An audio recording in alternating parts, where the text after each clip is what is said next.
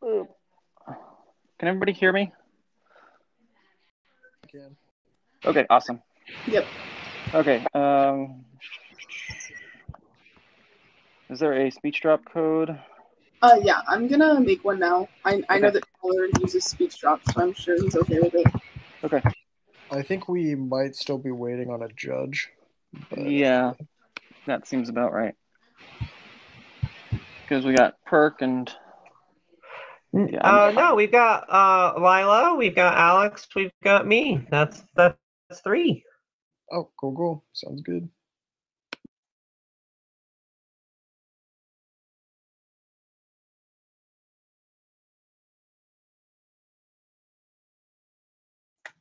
And you all are sidelocked?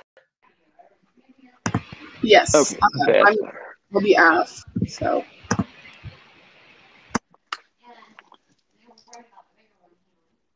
Okay, three, three. Uh, B A C. Okay. Semis.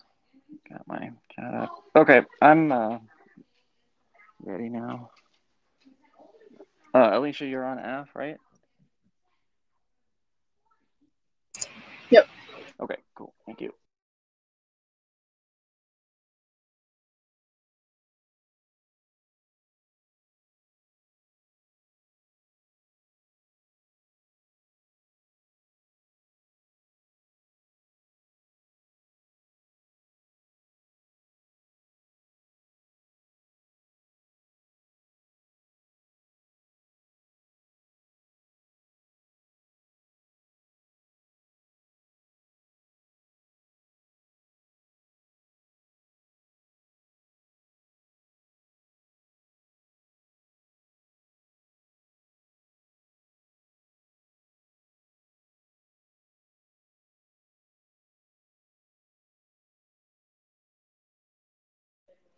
Okay, so yeah, I think everybody's here because uh, Justin and Lila are um, on the panel as well. I am in an area with relatively low connectivity, so I won't have my camera on. I'll mute my mic. But um, yeah, Same. Yeah, I'm a, I am a two person forensic household, so my partner is also judging. Yeah, I- so I keep my camera off. yeah, I'm uh, I'm in a I'm in a very rural place right now, and I'm Does anyone Yeah, it's like does anyone have any questions, between- comments, we, or uh, concerns? Justin Oh wait, we only have one silent debater. And you were oh HC is the Hornet Cup stream bot. Okay, all right. Yeah, we only have one debater. We're waiting for the nag. Okay. Tyler. That makes sense. Okay.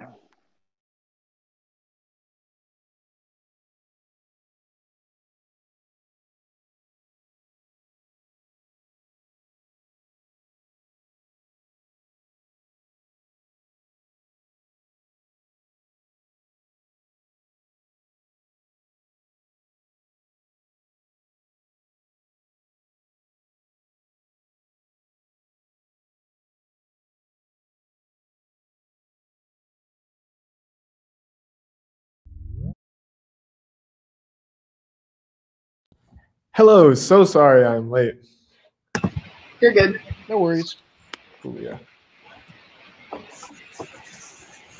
Good to see you again, Alicia. Yes, congratulations. Yeah, congrats to you as well.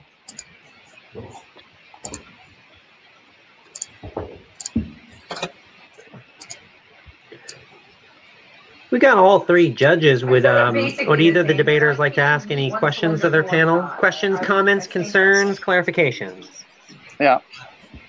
Yeah, so I mean, I, I read everyone's paradigms. So if there's anything like specific on the paradigms that you want to say is most important, or if there's anything that's changed, I'd love to hear that too.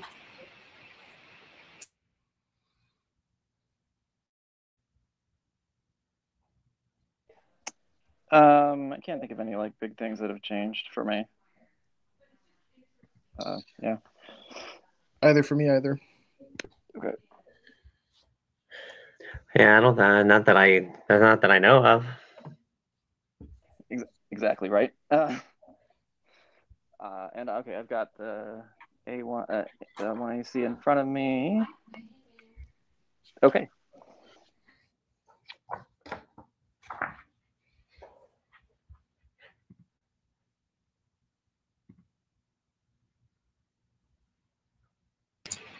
Tyler, did you have any questions that you wanted to ask or? Oh no, I think I'm okay. Okay, cool. I just wanted to make sure before I like started or whatever. Uh, Yep. Yeah, my, my biggest thing is my speed threshold for analytics is much low is lower than my speed threshold for evidence. That's, Okay. that's- Are there any other reservations on speed for any of the judges? as long Nope. as it's not abusive, I don't. Yeah, you know, I mean, this is an, it's an open round, so yeah, Okay. I don't see why it would be no.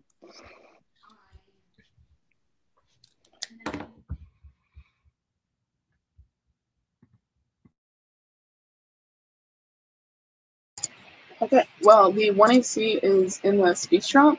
Um, I flow it on five pages, but it's inherency, solvency, two advantages, and framing. So, how do you like to flow that?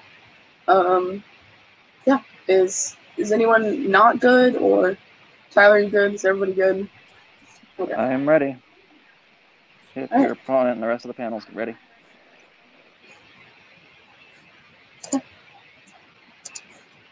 All right. Seeing as there are no objections, I will go ahead and begin.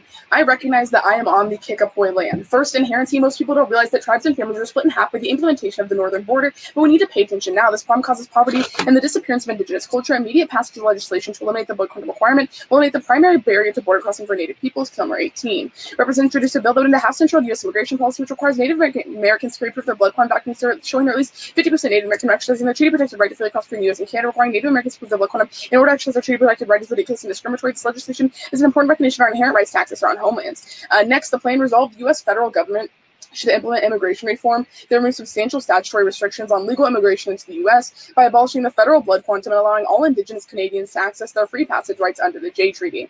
Next, solvency. Native American organizations advocate the elimination of blood quantum restrictions on border passage. The National Congress of American Indians 18, the National Congress of American Indians to support the efforts of northern and southern border tribes to address implementation of the Jay Treaty provisions in Canada governing border crossing for all American Indian, tribal, and First Nations members and removal of the 50% blood quantum requirement in the United States.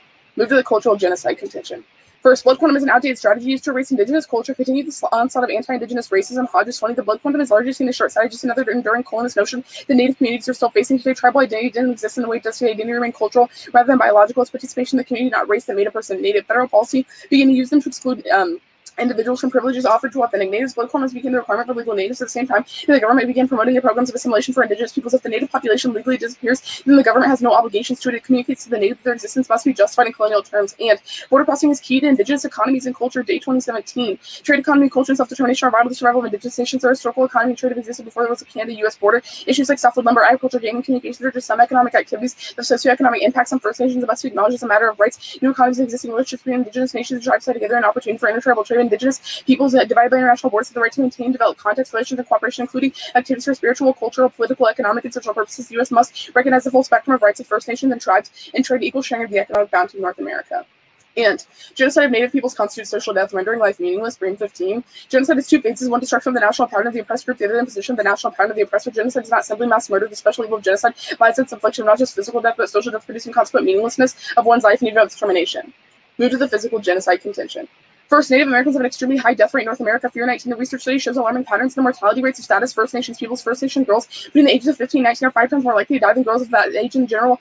Canadian populations, boys were four times more likely to die than the general population. Standardized mortality rates have not changed in the past 30 years and may have even decreased for some groups increased for some age groups. This is due to abuse and lack of access to medical care, economic marginalization, systemic biases. Issues are a concern in North America broadly. Blood quantum results in the physical death of natives in numerous ways. Link one, poverty and starvation, and chance border restrictions and racial continue to impair border crossing by native people, which in turn cause economic activity to decrease. Fox 18. There is making it easier for people living cross border communities to pass over the line speeding up the flow of trade and services. The 18th century, the northern border was first hastily sketched. The boundary divides more than a dozen Native American tribes and considered security border crossing disrupted international communities for decades to be able to cross the line to will families, Native Americans, and employees of hospitals and small businesses now find themselves confronted with impassable and hostile barrier. And two, the second link, federally imposed blood quantum requirements, a form of settler colonialism that rely on the genocidal logics of elimination. Jackson 20. Genocide, settler colonialism work on the logic of elimination by death force displacement or assimilation in order to open up lands for new settlement. The socio-historical process in which racial identities are created, lived out, transformed, um, destroyed indigenous peoples were measured by blood quantum. Uh, the, the, the explicit federal use of blood quantum, little tribal and central limit tri- responsibility tribes and would eventually become distinguishable. Thus, blood quantum is a critical tool for settler colonialism. Indigenous people needed to disappear in order to open up lands and resources for the whites. And this genocidal logic leads to lack of federal aid, which is especially devastating in light of COVID, pushing natives deeper into poverty. Walker and Cochran 20. The human and economic toll of the pandemic is particularly devastating for tribes across the country, which are already struggling with inadequate federal resources and are now among the most vulnerable and hardest hit by the virus. The lawsuits and delay in providing the tribal aid represent the largest struggle over allocating the trillions of dollars Congress approved as part of the stimulus package. And poverty is the worst form of structural violence Abu-Jamal 98. We live in a nation that condones and ignores wide-ranging structural violence of a kind that destroys human life with a breathtaking ruthlessness. By structural violence, I mean the increased rate, rates of death and disability suffered by those who occupy the bottom rungs of society. This form of violence is invisible to us, and because of its invisibility, all the more insidious. Every single year, two to three times as many people die from poverty throughout the world as were killed by the Nazi genocide. This is in effect genocide on the weak and poor of every every year of every decade throughout the entire world. Move on to the framing page. Extinction framing is a far-fetched privilege and silly abstraction that normalizes violence experienced by indigenous bodies. That genocide is the real extinction. Mitchell 17. Extinction has become an emblem of Western fears about the end of the world, climate change, asteroid strikes, nuclear destruction. Extinction has become an empty superlative, and abstract form of unthinkability. Extinction is not a metaphor; it is a very real expression of violence that systemically destroys particular beings. Extinction is an expression of colonial violence. The genocides of indigenous people continue apace in contemporary settler states, transformed into multiple manifestations. Extinction is not a metaphor for genocide or other forms of large-scale violence. It is a distinct manifestation of genocide. Treating extinction as something short of genocide entrenches Eurocentric understandings of personhood. Racialized people are more likely to suffer from the effects of extinction. Extinction is not a metaphor. In many cases, it's quite literally genocide enacted against indigenous people and their other than human relations. Thank you. Open for cross examination.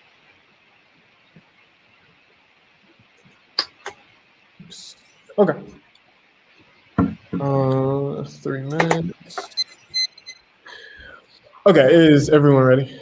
If, if my uh, judges don't say anything, I'll assume you are. I am, yeah. Okay, cool. Um, all right. So first off, um, on the plan text, what part of the Jay Treaty gives Canadians access to free passage rights? Like gives Indigenous people access to free passage rights? Um, I honestly like I don't remember the number of the statute, but I definitely have it like in my back files. I can go look. But um, no, that's that's okay. okay, I'm sorry. I just don't remember like the six numbers that it is. Yeah, you're good. So can you clarify for me what exactly the plan does? Like I get the removing blood quantums, but the second part. There is no second part. All it does is abolish like by abolishing the blood quantum, right? Yeah, I guess what does that do? Yeah. yeah. So okay. So the federal blood quantum mandates that you like pr- prove to the U.S. government that you have 50% indigenous blood in order to be considered as an indigenous person under the United States federal government's eyes. Mm-hmm. Um, and once you get rid of this criterion that you have to meet of this federal blood quantum, you are allowed these free passage rights. And when they signed the Jay Treaty, like centuries ago, um, they said that indigenous people like can have their free passage rights. Okay, so I guess is the reason that indigenous people should have these free passage rights because this is their land, right? That's the contention. I mean, yeah. Okay. Cool. I was just clarifying. Also because it's like, you know, like causing mass death culturally and physically. Yeah, so when you talk about cultural genocide, can you mm-hmm. define that? Like, like social death. What is social death?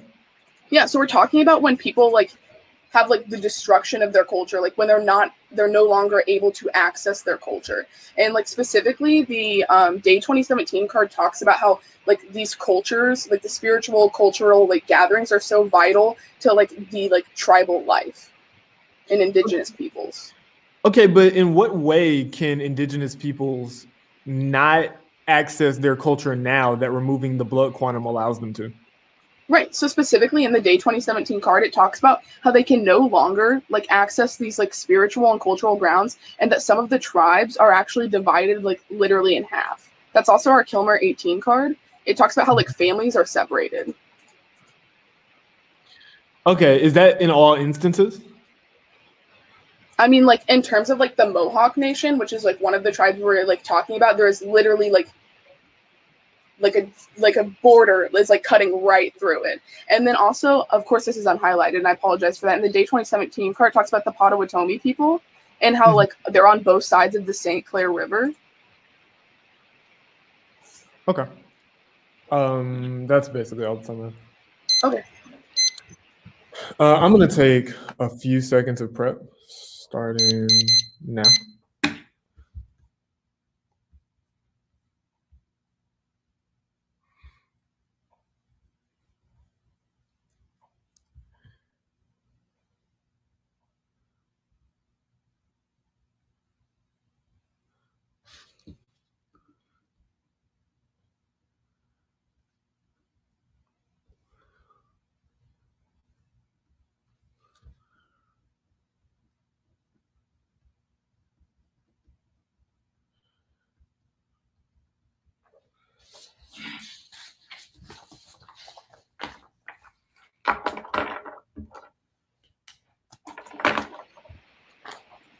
I don't know if you need this information at all, but it's section three of the Jay Treaty.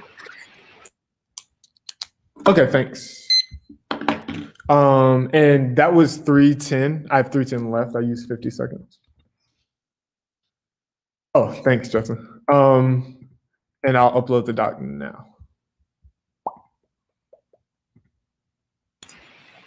Uh, how many pages? Uh, yeah, I think it's gonna be two off and then case. Okay. Uh, or I lied, three off in then case. Sorry. No, you're fine. Is it just case and order? Um, yeah, it'll mostly be solvency Okay, cool. in terms of where you need to be on the floor. Thanks so much. Yep, yep. Um, I have it up. okay, cool. So is everyone ready? Uh, give me a second. Sorry, Word opens really slow for me. Yeah, yeah. Just uh just on me know.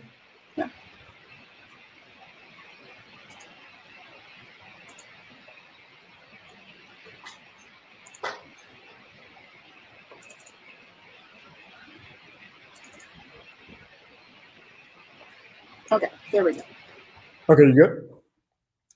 All right, then I will get started unless someone stops me. All right. First off, is T blood quantums are not legal immigration. A, legal immigration means LPR. There are three broad categories. Chang et al. in 2004. Legal immigration is defined as law persons lawfully admitted for permanent residence into the U.S. The Immigration Act establishes limits for three classes of immigrants: family-sponsored uh, preferences, employment-based preferences, and diversity immigrants. B, violation. Jay treaty recipients are legally distinct from LPR. The USCIS website says a record of admission for permanent residence will be created if an American Indian born in Canada wishes to reside permanently. This statement uh, seems to recognize that the exercise of the free passage right is distinct from choosing to live permanently in the U.S. C standards one limit. There are all sorts of exceptions to the typical immigration process. LPR gives the IF lots of ground while giving the uh, negative a clear set of cases. Two ground. Many core negative arguments linked to the visa process, backlogs, visa critiques, and politics links. Uh, three bright line. LPR gives a uh, clear set of cases. The negative can be prepared to debate. D voters. One topicality is not clear to predictable. And first set of cases, the negative can be prepared to debate on their merits. And two extra topicality as a voter. It is unpredictable and proves the resolution is insufficient. Second T is remove means cancel, not modify. A interpretation. Remove in the context of restriction means cancel, not modify or replace. OED in 2020 to cancel or lift a restriction, a tax, etc. to get rid of, to put an end to. B violation. The F uh, replaces the blood quantum. C standards. One limit. D there are around 30 visa types, each with many restrictions, allowing the affirmative to change any uh, restriction multiplies the number of cases exponentially. Two ground. The topic has a massive aff bias in the literature. To win compelling links, the aff needs to make a radical break from the status quo, not just tweak something. Three contextual evidence that the plan revises, not eliminates. Spruhan in 2009. One possibility might be for Congress to revise the pre pre uh, free passage statute, excuse me, and eliminate the blood quantum requirement. Congress might replace blood quantum with a different definition. D voters. Top. Uh, you can just cross apply the voters from the above T. Now go to the Sharma case. The first contention is that the affirmative justifies itself by saying that indigenous people have a primordial claim to this land that justifies their right to migration. This framework empowers forms of colonial violence that we are already seeing all around the world. Uh, Sharma in 2020 claims to uh, autochthony are meta- metaphysical and as such deeply politicizing of the exclusion they produce, drawing upon historical studies showing uh, how imperial states deployed autochthonous discourses to divide those that they are categorized as natives and migrants from one another in an effort to maintain their imperial rule. I show the continuities of such practices in a post-colonial New World Order contemporary nationalist discourses of auto- autochthonies cannot succeed in realizing decolonization precisely because of their reliance on modes of political, economic, and social exclusion based on the separation of people categorized as either native or migrants. Just as racism was central to colonial practices, so too was anti-racism central to anti-colonial struggles. Today's efforts to narrow the definition of anti-racism to something that make, uh, takes away from anti-colonial struggles is an active disavowal of the deep connections between racism and colonialism. The view of anti-racism is only important to those that are negatively racialized people who are not also classified as native as part of how the definition of colonialism has been been expanded to include, include all people. This is evident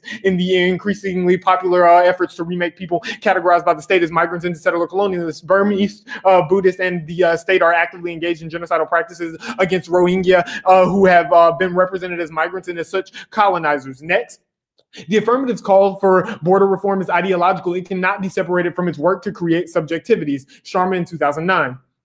Any study of national borders needs to start with the recognition that they are thoroughly ideological, whether while they were presented as uh, filters sorting people into desirable and non-desirable, skilled and unskilled, genuine and bogus, worker, wife, refugee, etc. National borders are better analyzed as molds as attempts to uh, certain types of subjects and subjectivities. They place people in new types of power relations with others, and they impart particular kinds of subjectivities as far-reaching implications is not simply restricted to the event of the uh, crossing a territorial border. Walzer's fear of a thousand petty fortresses that he predicted would uh, attend a borderless world is already being realized. The alternative is to reject approaches focused on justifying migration on the basis of primordial land claims. The USFG should abolish borders for the purposes of migration. Sharma in 2009. Historians, archaeologists, biologists, and tales of the people tell all point to the fact that around the world human beings have always moved and they have done so for reasons not dissimilar to the reasons people move today. Yet in most nationalist narratives, the people are seen as attached to particular lands in ways that are either primordial or providential. The invention of human sedentarism or doctrines of manifest destiny rest on problematic assumptions about what migration actually is and who engages in it. Uh, what distinguishes distinguishes a no borders politics from other immigrant rights uh, approaches is their refusal to settle for fair immigration policies. No, within a no borders politics, it is understood that the border control practices of national states not only reflect people's uh, unequal rights, but also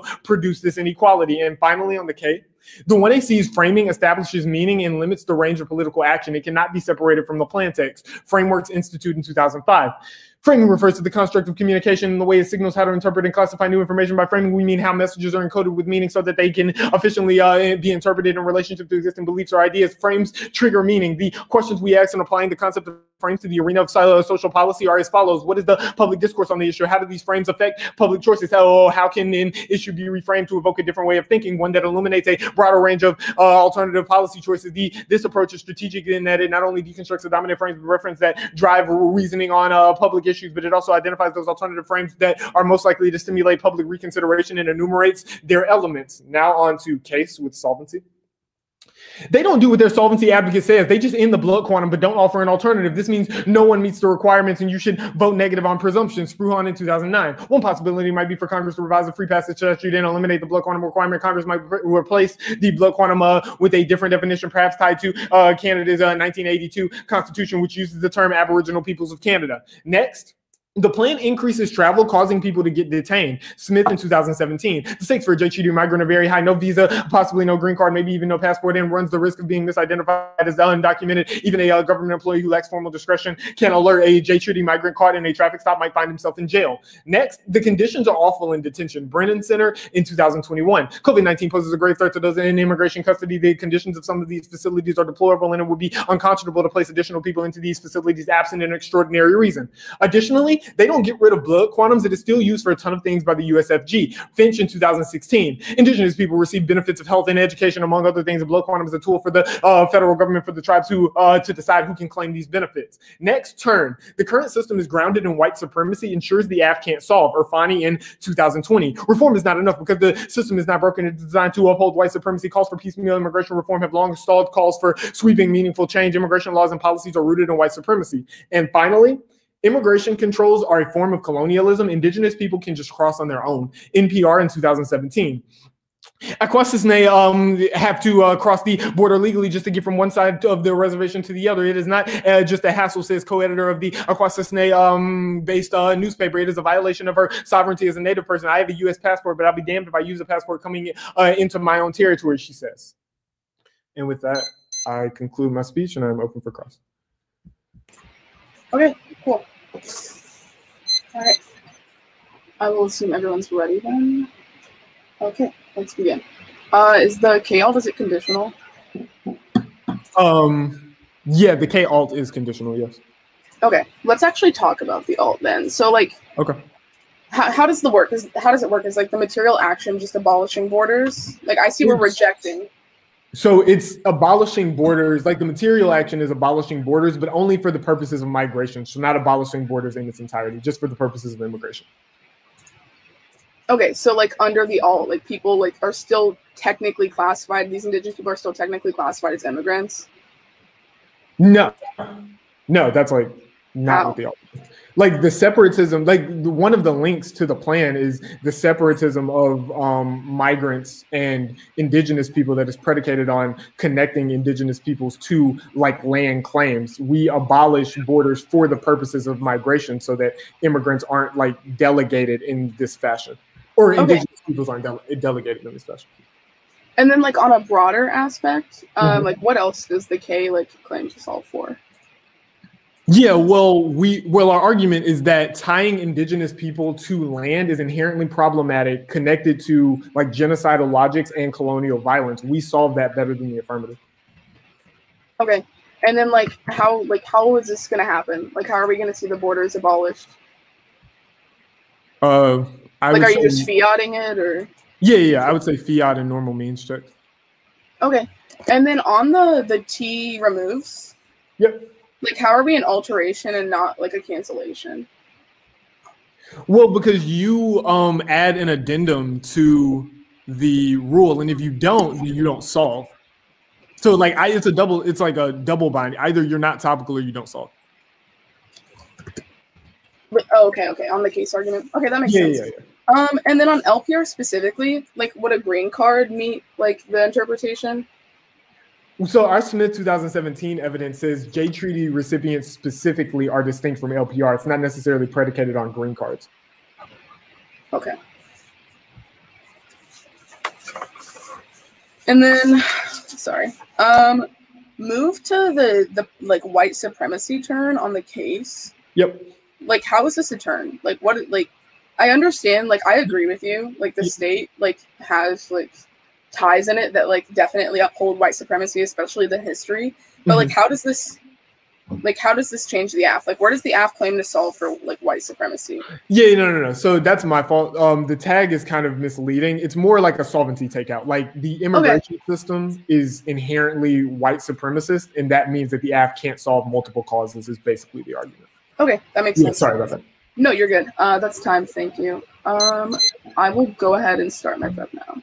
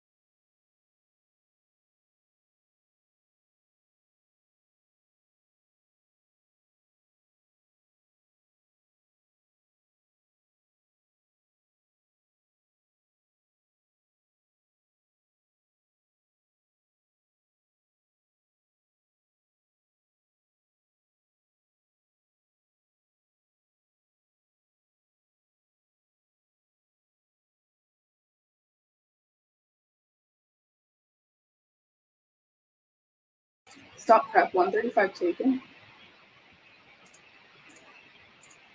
Okay, math. That's. Thank you, Justin. okay, I'm putting it in.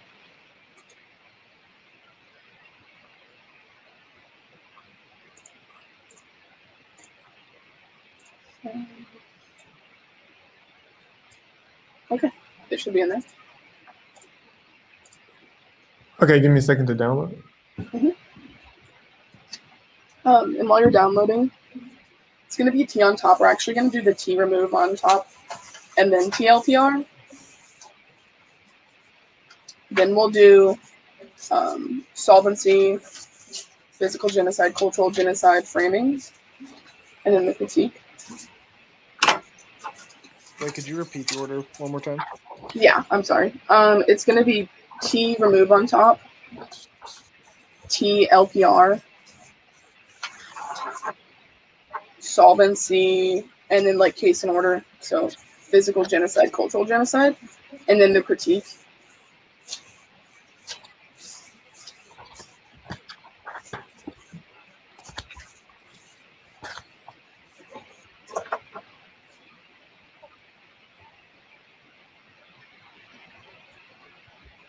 And then is everyone Yep, ready. Okay. Now we'll assume everyone else is ready. And I will begin on first. Put this on both T pages. One drop rule. This isn't a uh, one drop rule DA. Their topicality argument is just like the one drop rule. We're including even one of them affirmative that doesn't meet their ideas of what a topical aff should be makes the entire topic unredeemable. These are the same logics that allow for the racialized violence of exclusion that are forced upon Indigenous folks. Next, the blood pollution DA. These are their arguments about how including this discussion of dignity ruins and otherwise good topic ignores the endemic problems with this topic and debate as a whole, i.e., only using the USFG as an actor and forcing debaters to comply with the norms of white academia while talking about immigration. They normalize the messed up parts of the activity by making my aff the scapegoat. Move to like first term move. One, we meet. We remove the federal blood quantum, read the plan text, abolish the federal blood quantum. There's no modification. We don't have any Congress like congressional revisions. We move this, remove this statute. Um, like here's the definition: remove means to eliminate Oxford 20, eliminate or get rid of.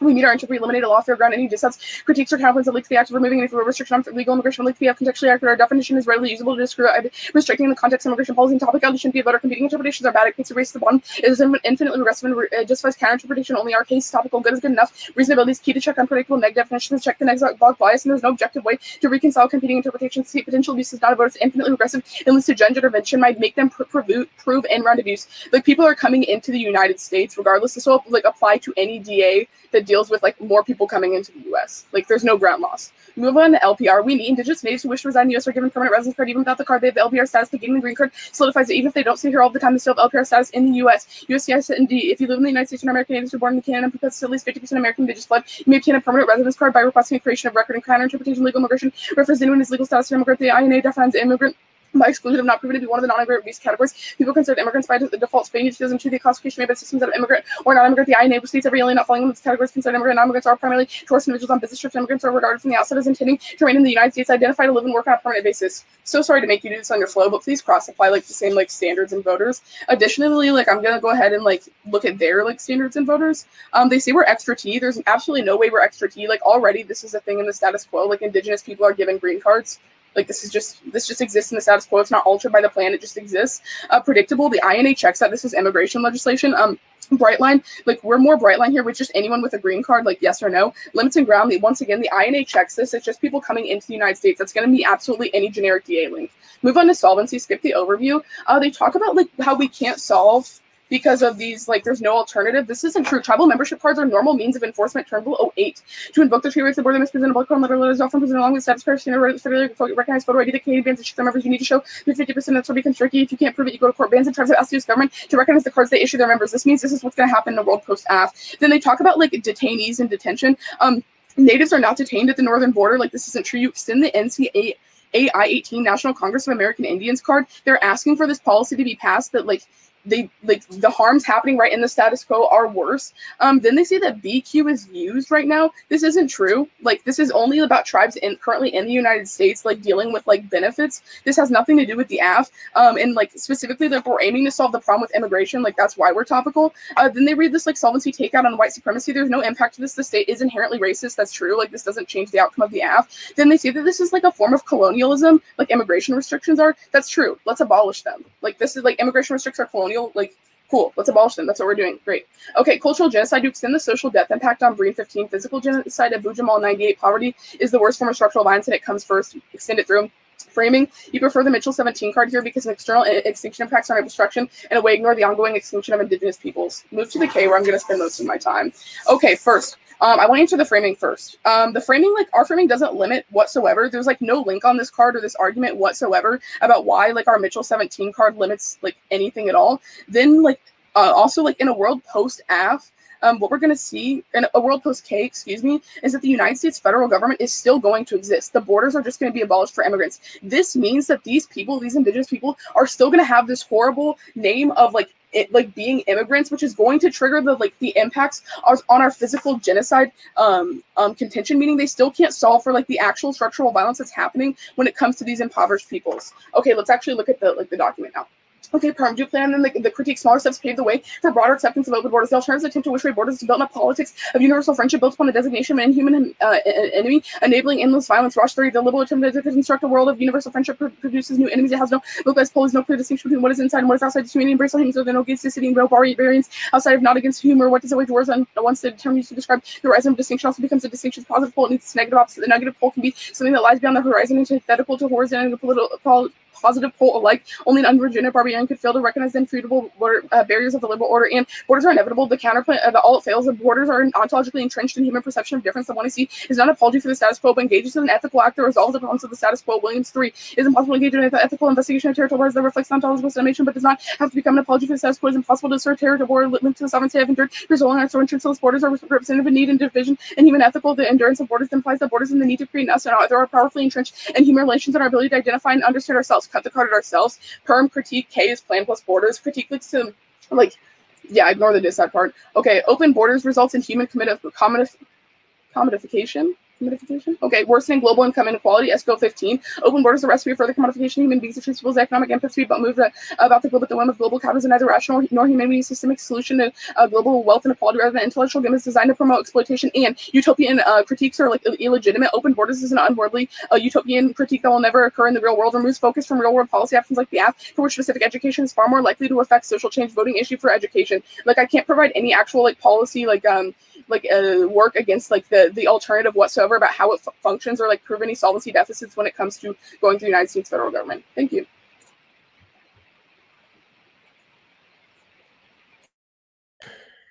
All right, cool. Um, I'm gonna take my three cent. Wait, sorry, my timer. Okay, three ten starting now.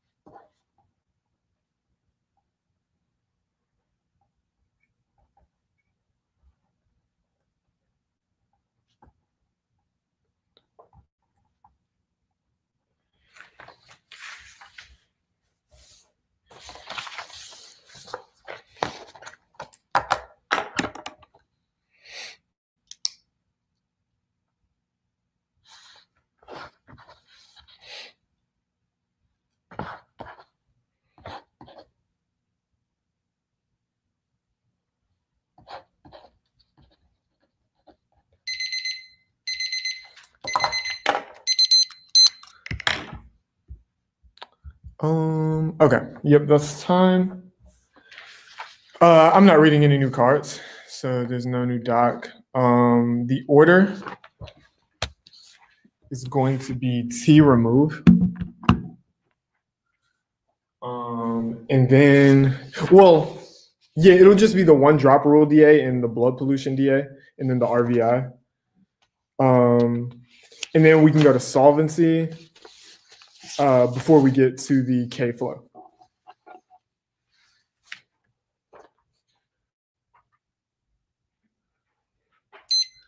Is everyone good with that? Coolio. Yep.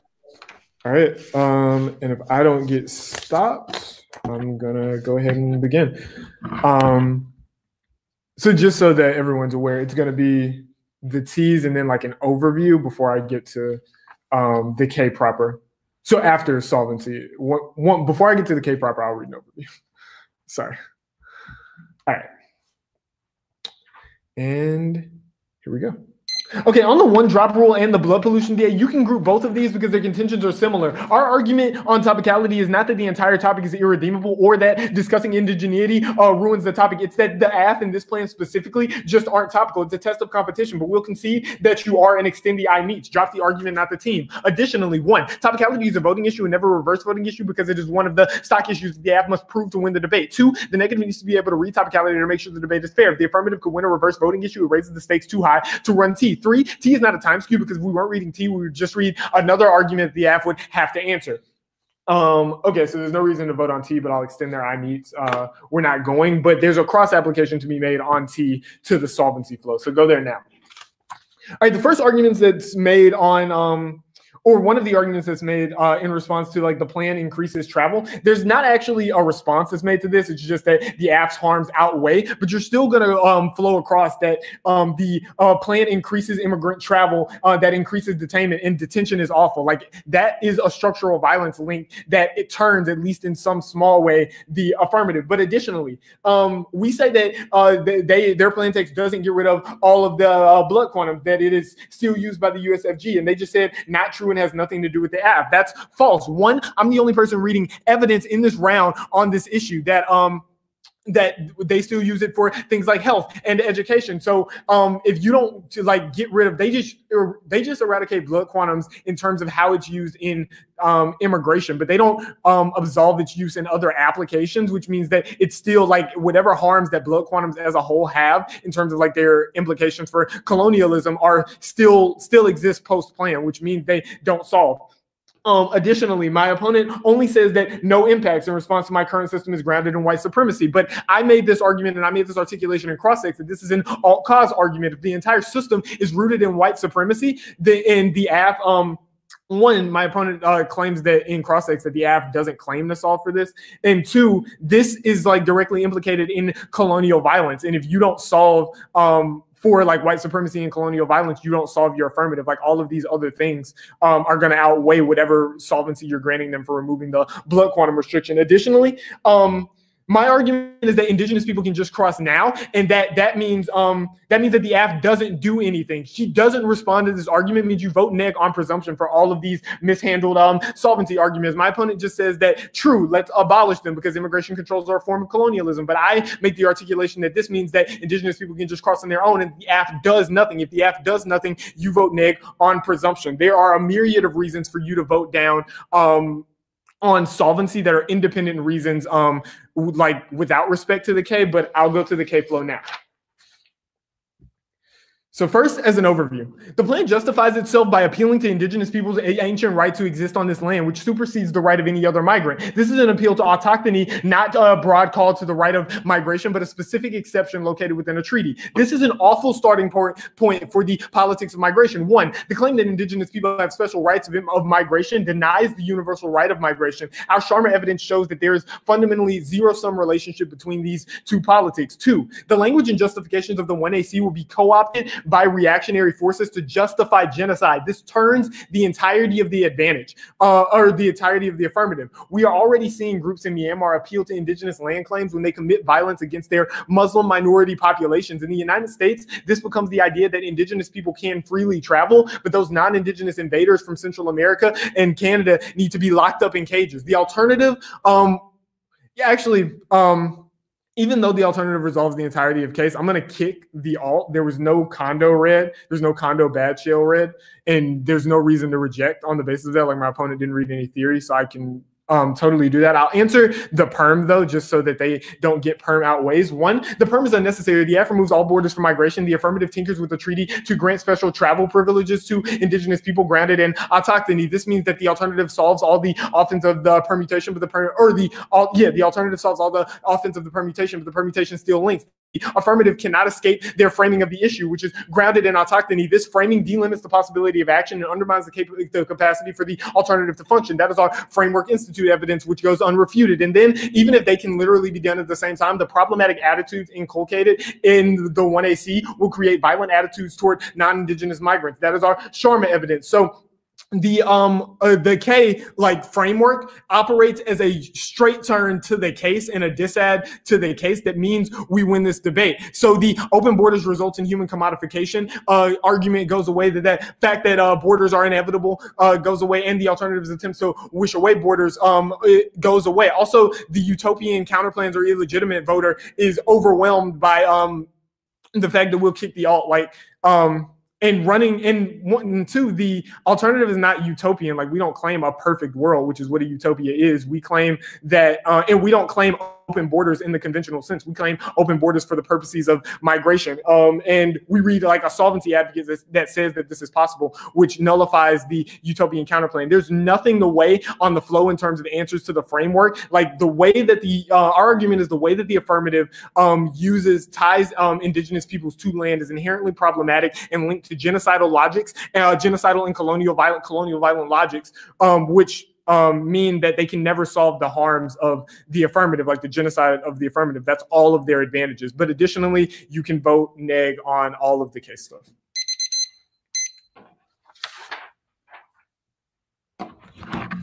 Okay, 215, I'll start it now.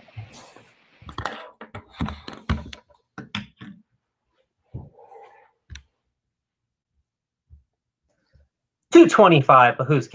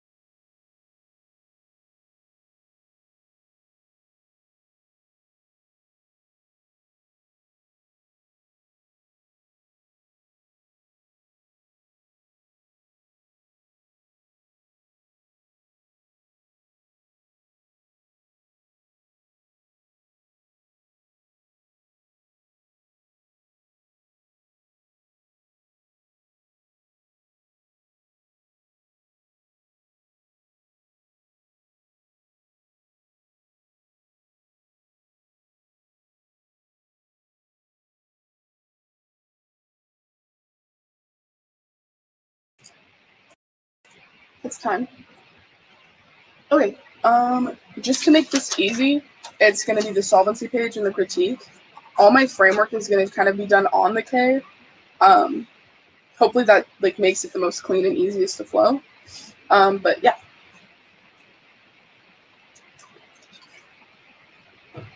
And it's there's to be no dog. It's all on flow. And then I assume everyone's ready. Okay. With that, let's go ahead and begin with a quick overview. What you're going to find in this uh, this 2AR is that all the solvency attacks are going have actually been dropped, my answers, and you're going to find that you're going to be voting on the critique when it comes to what Native Americans want for this country and what they want for their travel. First, let's go into the solvency page specifically. They say that I dropped the tribal cards like they, they I dropped that there's no alternative. This isn't true. They didn't flow me. The tribal cards are normal means. That's my card. The Turnbull 08 card I read in the previous speech. Then they say that I drop immigration travel. This isn't true. I said this is not specific to the northern border. And two, I said the NCAI 18 card. That's the National Congress of American Indians that says they want the aff. If there is violence at the border, then the violence that's going on right now is so horrible that these people want this blood quantum picked up and, and, and abolished. Okay, then they say that like I I dropped the the the blood quantum used in like medical fields. No, I say that this is only about immigration. What this means is that you don't understand my argument. The harms link to immigration. Look at my case. Look at the day 2017 card. Look at the Jackson 20 card. Look at all my links. They are specific to the obstacles the Native Americans face in terms of immigration and not being able to get back to their land. And once again, you're going to extend this NCAI 18 card. They want the plan. Um, okay, then they say like um, like we don't solve like white supremacy. None of my links are predicated off of white supremacy. They talk about how blood quantum is a pillar of settler colonialism, and that's what we're dismantling. Um, so maybe that's confused there, but I'm not trying. Like none of my links, none of my impacts. This has nothing to do with white supremacy. It has everything to do with abolishing like the problem at the border, which is a form of white supremacy. Yes, but obviously we're we can't like get rid of the entire state in and of itself in terms of a policy act. Move on to the critique specifically. Okay, so there's a lot of like we're dropping the turns, we're dropping the utopian fiat. That's great. If Tyler did not spend more than one minute on an argument, you really shouldn't address it because collapse is key to not having like not having to continue watching these horrible like two ARs where we're overwhelmed. But anyway, you're going to be like once again voting on what Native Americans want. If the affirmative is genocidal logic, then you're telling Native Americans that they're the ones who have genocidal logic. Once again, the NCA 18 card that specifically says that Native Americans advocate for the plan. They advocate for this abolishment of this horrible racist policy. You're going to be voting on what natives want because they're not the ones with the genocidal logic. It's this policy that we're getting rid of. And because there's no alternative, because there's no action being done, that's why you're going to vote for the only action that actually takes a stand against this horrible genocidal logic in the status quo that is trying to eliminate natives by saying you're not native enough if you don't meet 50%. They completely drop our framework cards. That's the Abu Jamal and the Breen cards, which talks about how we need to prefer this ongoing violence of poverty and these other structural issues that's literally killing Native Americans, that's making them extinct. In the Breen 15 card, which talks about how people have like lost their culture because of this piece of because of this horrible policy that is preventing them from accessing their spiritual grounds and their families. And then finally, the revolution impact is brand new. Look at the one one and C. Sure, maybe it's hidden in a card somewhere, but it's not in, in like a tag. You evaluate our impacts first. You vote for what natives want. Thank you.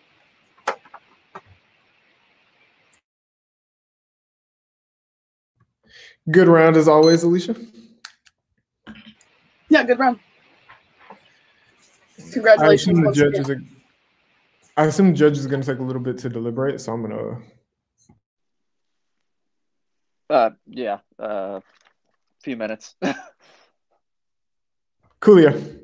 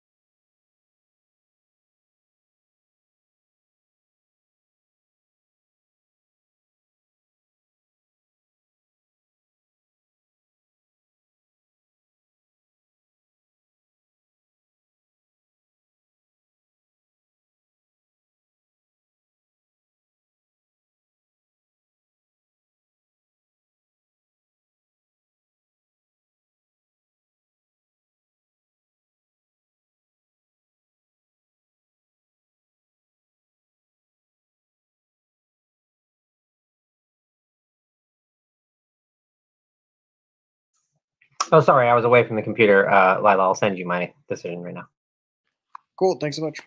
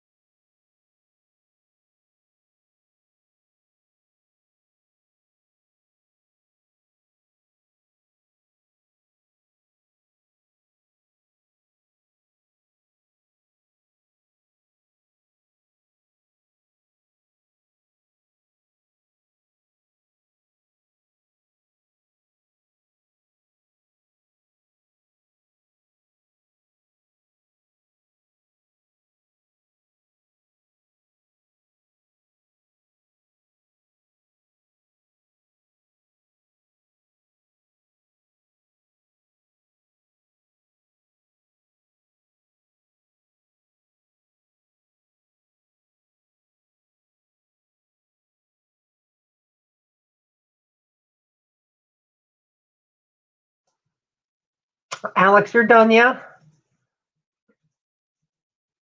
Uh, yeah, I was. I'm in, and I was going to give a. Uh, Oh, can you can you private message? No, he froze. Oh yeah, just private message. Yeah, Lila or myself, one of us for. yeah. Uh, Or, yeah, I was- private yeah, message. Lila. It's legit, but I didn't know if we're talking live action or cartoon count. Oh, I'm sorry. Yeah, I'm. on- Uh, yeah, I was gonna just uh, give a verbal RFD. I'm on my phone. It's very hard for me to like. or make type. Right, right, right, right, but we need to know the decision. Superhero movie, and that was Oh. Oh yeah, I, I, I voted for the neg. Then- There- there Okay, we okay, so that's what I was asking to be private message, so that So- uh, Lila could do the big grandiose congratulations. I think I was conflating yada, yada thing. superhero. I, with comic. I thought I But, sent, but I thought we, I- yeah, it's all good. It's all good. We know I your thought- decision. I thought I sent that out to, to both of you. Uh, It doesn't show that though. I don't. I Yeah. okay. All right. Well, uh, yeah. So, uh, Lila, why don't you, yeah, do what you were gonna do? I really like. All right, yeah. Uh, anyway, uh, good round to both of y'all. Congrats to getting to the uh, semifinals of what is this tournament called? The Hornet Cup. Uh, it was a fantastic round. It ended up being a 3 0 for the negative. Um, so I suppose I can go first since I am talking. Uh, I vote negative at worst on presumption and at best with the fact that the 1AC does not solve, plus the 2NR is winning a tiny piece of terminal offense that weighs under the 2AR's extensions of its internal impact weighing and thus not only internally linked turns the affirmative, but also does so under the impact prioritization that the 2AR is extending as that which should direct my ballot. And here's specifically how my ballot gets written in this way. First and foremost, I just think that the 2NR strategy is incredibly risky. I understand the idea that kicking the alternative makes sense under the conditions that A, you are winning terminal defense against the affirmative, and B, it's a good time trade off to not have to answer the only aff offense against the criticism. That said, though, putting yourself in a position in which nearly all of the 2NR offenses collapse to has no uniqueness, given that the case uniqueness is generated by a metric of the alternative solving for the links and thus the terminal offense, is incredibly risky because even if coming out of the 2NR or 2AR, you are winning absolutely all of your offense on the line by line, if the 2AR is able to win risk of solvency plus framing for the 1AC, it's pretty much game over for the 2NR because you have no link uniqueness for any of your offense, uh, thus no, no, no offensive reasons to vote negative, and the strategic value of all of your terminal defense goes away as well because the 2AR is just able to hand wave that through try or die framing slash risk of a link. So given that such is true and that is the strategy of how the 2NR unfolds, though, that means I look to the affirmative first when working through this round plus formulating my ballot here, which means that given that nearly all of the debate on the 1AC takes place on this page, I look to the solvency section of the 1AC. Hmm.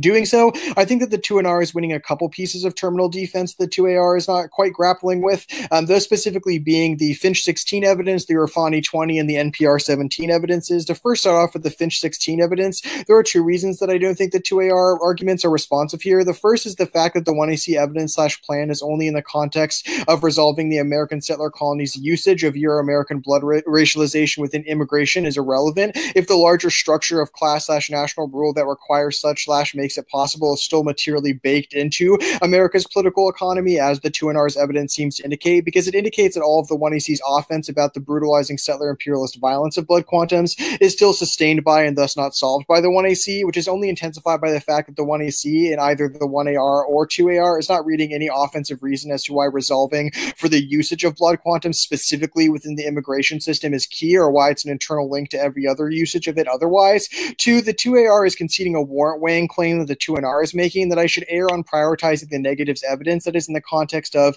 the American settler colonies' usage of the blood quantum on a structural level, for mm-hmm. example, within health and education, as the 2NR articulates, over the 1AC's evidence that is myopic and only singularly in the context of immigration, which in the 2AR conceding such preempts the 2AR's responses about why this is irrelevant, plus gives me as a judge a framing mechanism for why I ought prioritize the 2NR's analysis on that question. So that means that I think that the negative is pretty convincingly winning this piece of terminal defense. That means that the next place I look is the Surfani 20 evidence. I similarly don't think that the 2AR is ahead on this for a couple reasons. One, it also like the argument that you make is that well, none of my links are predicated on it, but you also then say, well, it is an example of white supremacy, uh, and the entirety of your analysis in the affirmative, and also just any material analysis of settler colonialism indicates that white supremacy is an inherent feature of settler colonialism, and the very reason that white supremacy is baked into the American settler colony is because it's an integral piece and ideological arm of anti-blackness and settler colonialism. But even if that were not the case, I think that the negative is also making an internal link argument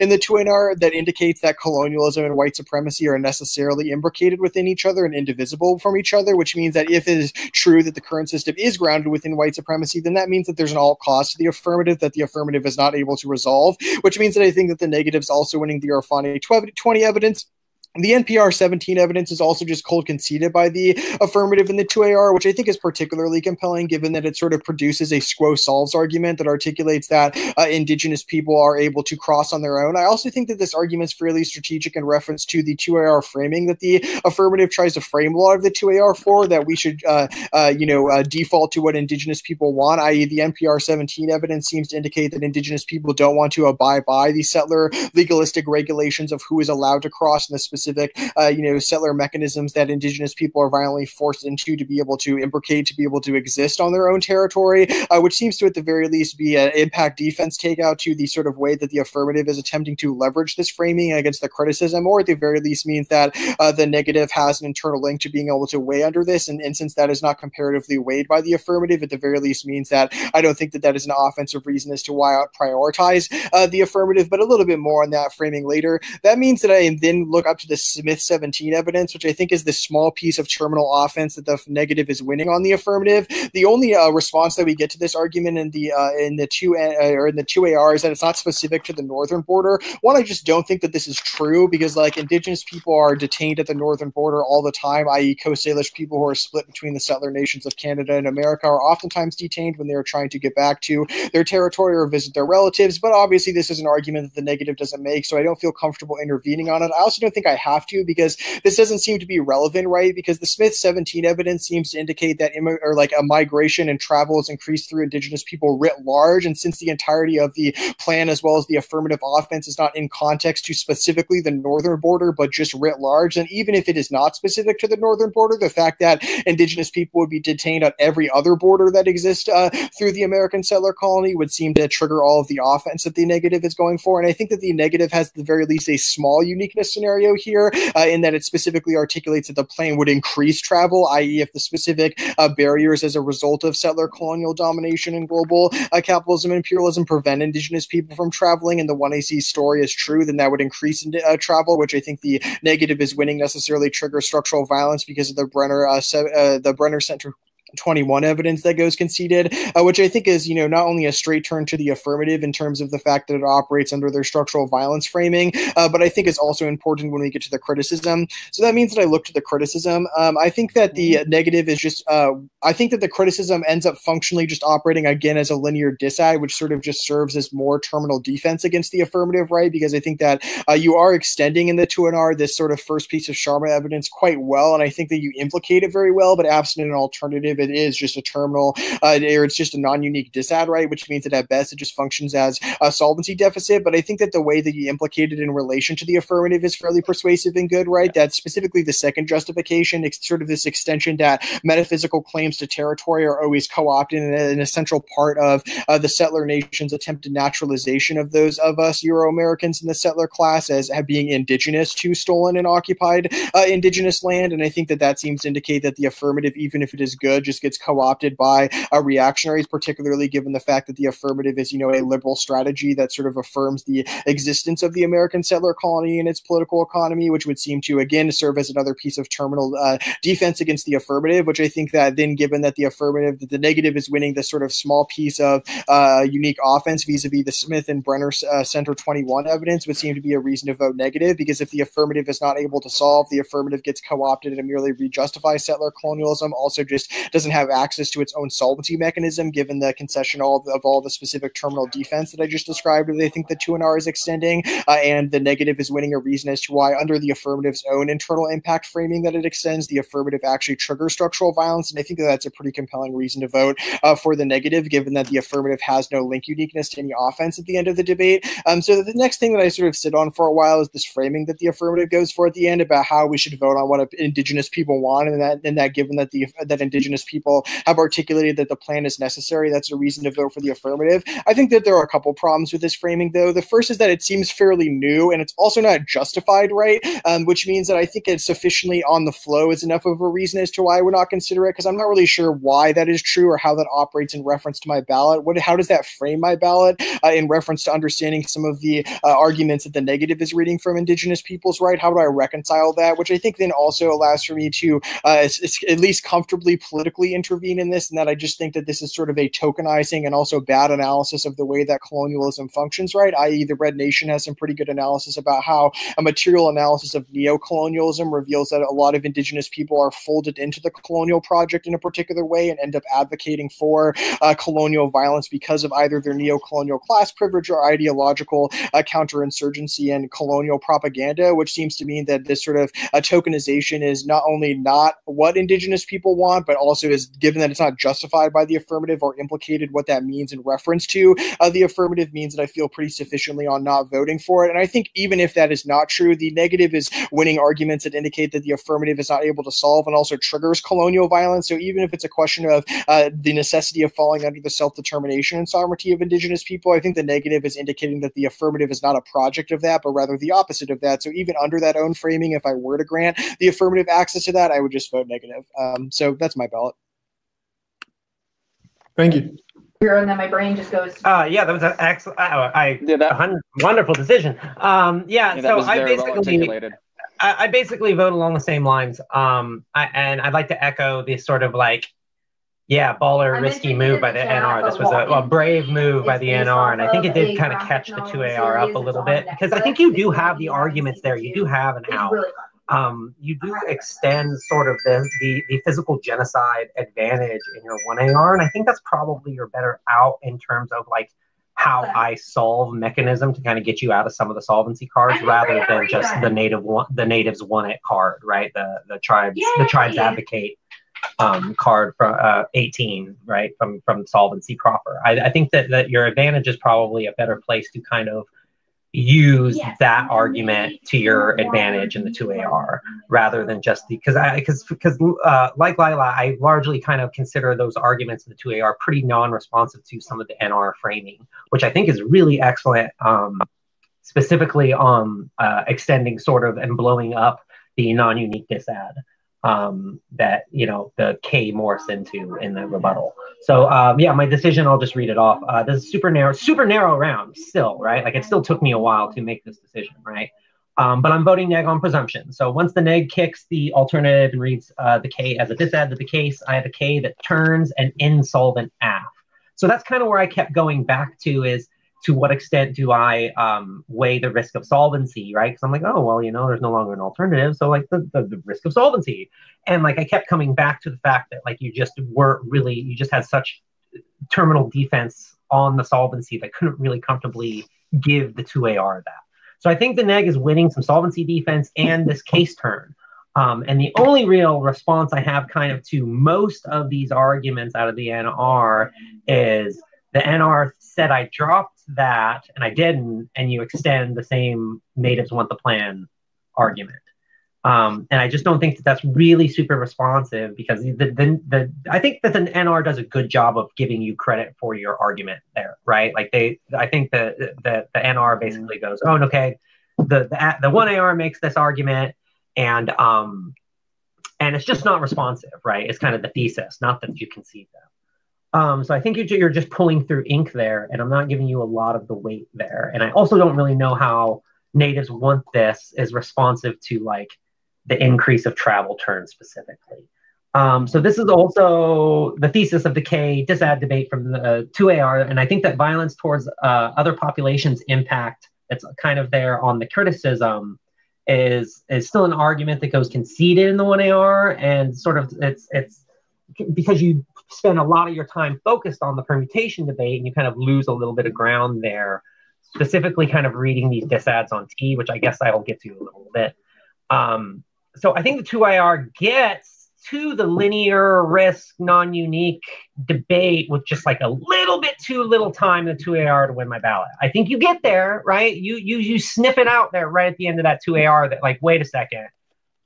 It's a risk of solvency versus this linear disad. And I think that that should probably have been like the top of your aff, right? That all I now have to win is that I have a risk of solvency and then work backwards from that. Um, so I think uh, I think that was the out, and um, it was just way more risk of solvency framing is was your out. Um, but like that's the problem is is you don't solve right, so you need to win that you solve a little bit more clearly for me, and and that's just where I'm at. That's my decision. Alex, take uh, it away. Yeah, um, Lila and Perk did a great job of articulating things.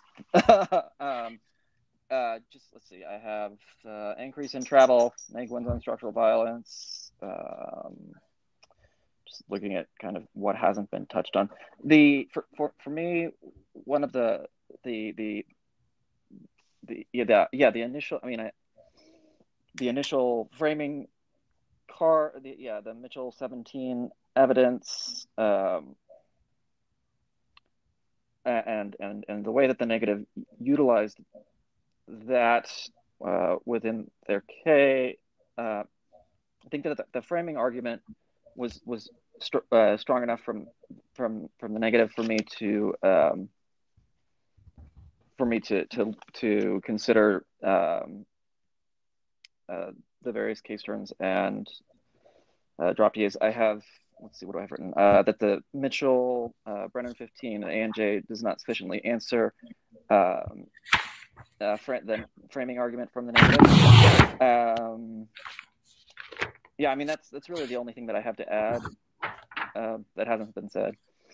Um, okay. But yeah, yeah, I mean for, for me the that yeah that yeah for me the the the the, the framing discussion within the round really helped lean my ballot towards the neg. Had that not been there, um, I almost I, I, probably would have voted for the affirmative. I think. Um, but yeah, I mean the in the in the one in the in the NR, um, you you, uh, you did a really good job of of uh, cross applying and discussing cross applying evidence and discussing. Um, you know this this increase in uh, how this increase uh, how you went on structural violence um, and how you went on kind of the I can't think of the right term, but mm, term, but um, kind of violence towards the the other. I, I can't think of like a you know, but um, anyways, yeah, it, it was a well done round on both sides and, a- and a fairly close ballot for me. But yep, Thanks. Uh, thank you all for judging in great debate again, Alicia. Yeah, thank you. Good luck, Tyler. Good round, y'all. congratulations. Yeah, do you have no no question, Leach. Uh, it's good as well. All right, have a great one. Yeah. yeah. Uh, yeah,